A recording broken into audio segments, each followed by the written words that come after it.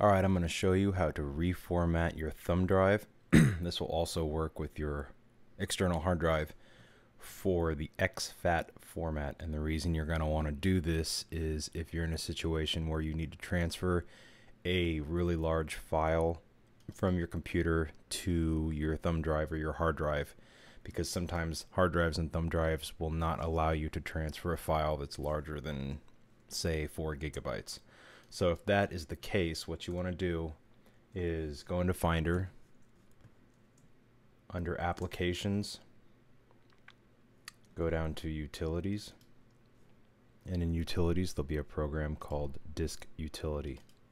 Open that up, select your thumb drive or your external hard drive, and then go over here to Erase. Now remember, of course, this will erase all the contents of your thumb drive, so you will definitely want to back that stuff up before you do this. So then come down here to format and select exFAT. Click erase, erase, and there you go. That's all it takes. And now your thumb drive will be able to handle very, very large files being transferred to it. Thanks for watching.